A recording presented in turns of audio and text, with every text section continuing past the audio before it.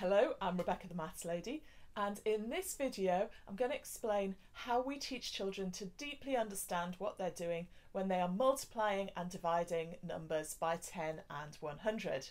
Some people say that multiplying and dividing numbers by 10 and 100 is about adding zeros on the end of the number or taking zeros off or shifting the digits to the left or to the right. In this video I'm going to show you how to explore this topic in depth with place value counters so that children deeply understand why those rules make sense and when they're useful. If you don't need this video, here's your link to the next one which is all about rounding. This video does follow naturally from the last two, which were on the foundations of decimal numbers and calculating with decimals. So if you struggle with this video, it's worth going back and watching those two because they should make this much easier. Okay, let's get started with multiplying by 10. So if we consider a calculation like 21 times 10,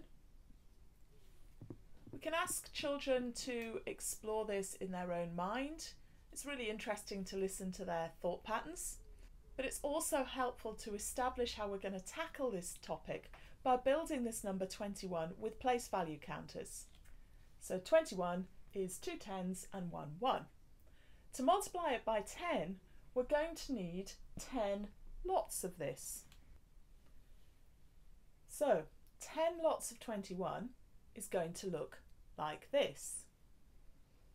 When we start to establish this structure, we begin to see that here we have 10 tens. So they're going to exchange into 1 100 in our answer. I'll just put that here for now. And these 10 tens will also become 100. And the 10 ones, they will become a 10.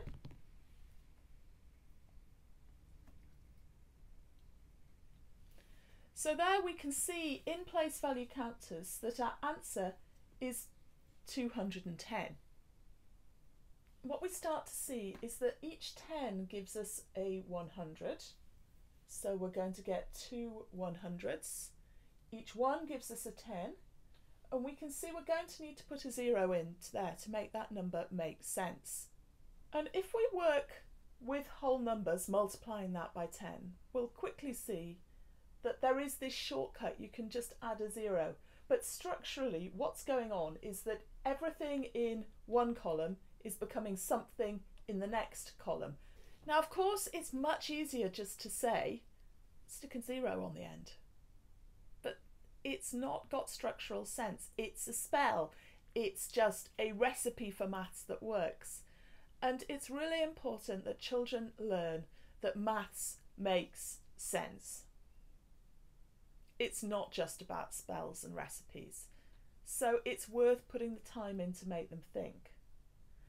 And of course, when we move on to decimal numbers, if they've just learnt to add a zero, their spell quickly falls apart. That's the thing with spells. You don't know when they're going to work and when they're not going to work if you don't understand them. So if we change this calculation now, it was 21 times 10. I'm still going to keep the digits small because it becomes quite chaotic either way. So if I make that 21.12,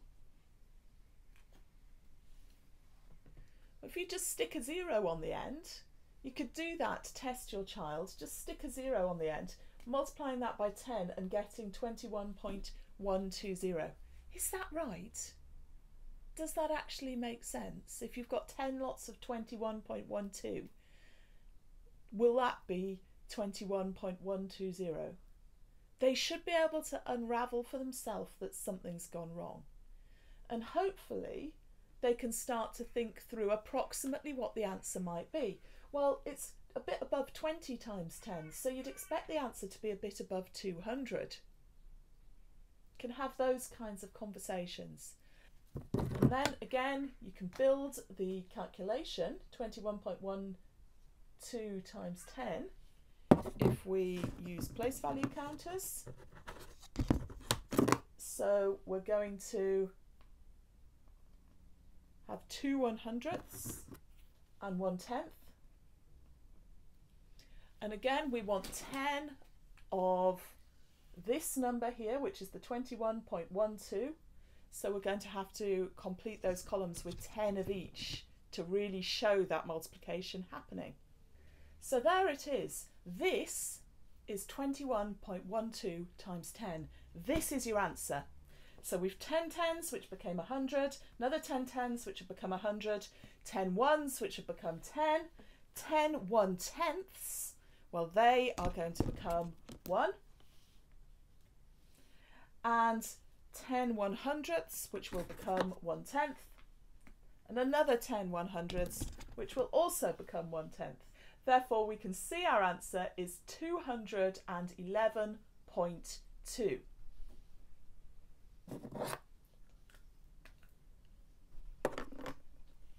And we can write the answer below here showing how the digits have moved to the left. And we can start to generalise that to a deep understanding of how the digits always move to the left because for every one hundredth there will be a tenth because 10 one hundredths are going to make a tenth. For every tenth there will be a 1 because 10 tenths make a 100 and so on. So when you're multiplying by 10, the digits move one place to the left and you can set up grids with column headings to support children as they work on that and become confident with it if they need it. And you need to pay particular attention to what's happening after the decimal point and the fact that we're not just sticking a zero on the end. But that does work if you're multiplying a whole number by 10 because when the digits move to the left you need to put the zero into the ones as a placeholder to make that number make sense. So what about multiplying by 100?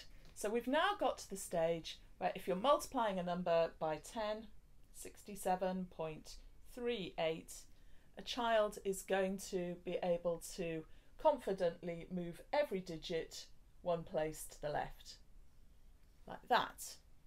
The question now becomes, what about multiplying by 100? Obviously the answer isn't going to be the same. And obviously there's another trick. We just move two places to the left. But why? Well, the easiest way to explain it is to look at the fact that 67.38 times 100 is 67.38 times 10 times 10. Because multiplying by 10 times 10, that 10 times 10 is 100. Now we know how to multiply by 10, we move one place to the left. And so if we're doing it twice, we're going to move two places to the left. So that will become 6738. The child you're working with may have other ways of thinking about multiplying by 100. So listen to them, let them explore their thoughts. But if their way is just add two zeros, it's not good enough. They've got to explain that if they're going to be brilliant mathematicians in the future. They'll hate you for it, but it's good for them. And you've got now a clear explanation you can offer them. If they have been struggling for a bit and they're getting annoyed, you can show them this quite quickly and they'll go, Yeah, but I told you it's just moving two places to the left. Right, division. So let's consider the calculation 120 divided by 10. Got our 120. We're trying to divide this by 10. Now, if your child has learnt to work flexibly as division being counting groups and sharing fairly, they're probably going to count groups and quickly see that there are 12 tens in 120. So they've sorted this answer and found that the answer is 12. But they've done it in a way that's not going to set us up well for a calculation like 121 divided by 10. How many tens in 121? Well, you get a remainder. So it's becoming much more tricky. And that becomes even more true if we had a, say, 120.2 divided by 10. So really we need to use the sharing fairly model of division to get to grips with the structure of what's going on. And the way we do that is to build our number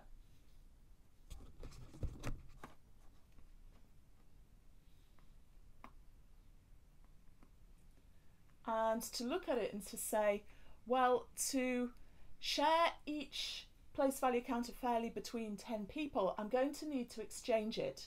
So the 100 is going to become tens.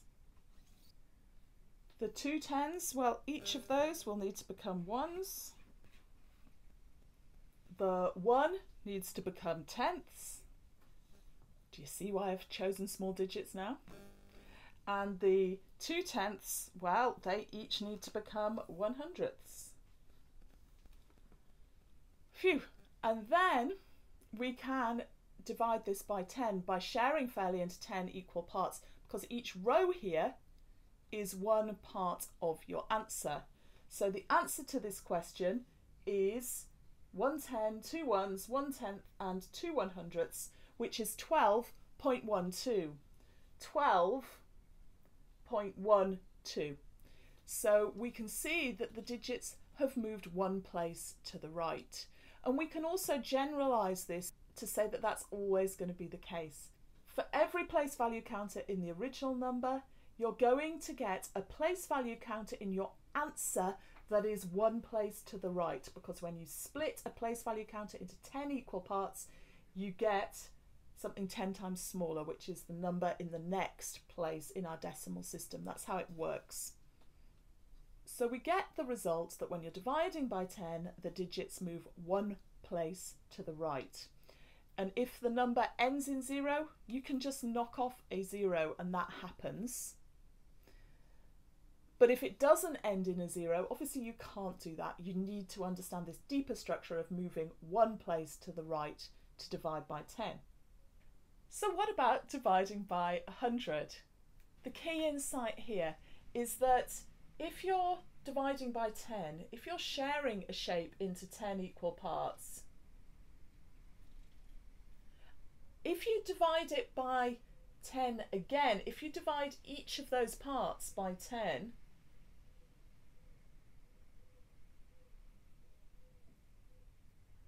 of course my parts aren't perfectly equal, which they should be, you get 1 hundredth.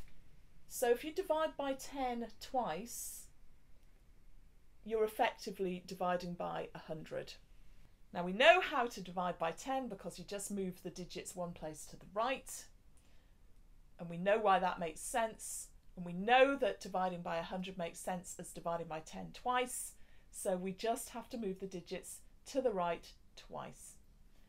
If you explore your child's thinking, they may come up with some lovely ideas like multiplication being the opposite or the inverse of division. So if you're doing one process for multiplication by a number, the process for dividing by that number should be exactly the opposite to get you back to the original number. And the techniques we've just worked out do click into place with that kind of reasoning too. Okay, for practice with this topic, it is great to work with scale drawings. Can your child draw a scale drawing of the table in front of them? And a scale of 1 to 10 is suitable for that. Could they draw a scale drawing of their room if they measure it with a metre ruler with you and do it on a scale of 1 to 100? It's got the added complication of going from metres to centimetres, but if you just work in centimetres consistently, then that can work quite well. I will try to create a worksheet on this topic but I'm running a little behind so it's not ready as this video goes live. I'll hopefully come back and do that. And when that goes live you'll be able to find it in all the usual places. If you look in the about for my YouTube channel it says where those are. So your takeaways from this video, multiplying by 10, yes you move digits one place to the left but if you work with place value counters you can really understand why that works multiplying by 100, it's two places to the left and we're multiplying by 10 twice. For dividing by 10, it's one place to the right, and again, that can be shown with place value counters. And for dividing by 100, it's two places to the right, and that's dividing by 10 twice. And it's great to practice this topic with scale drawings. If you've any questions or suggestions, ideas or thoughts, please put them in the questions And I am gearing up to live streaming, I promise. So if you look in my YouTube description, you should see information about when live streaming is. And I hope you'll come and chat to me and share your thoughts and ideas, and we can explore your questions live to really help you be a fabulous teacher.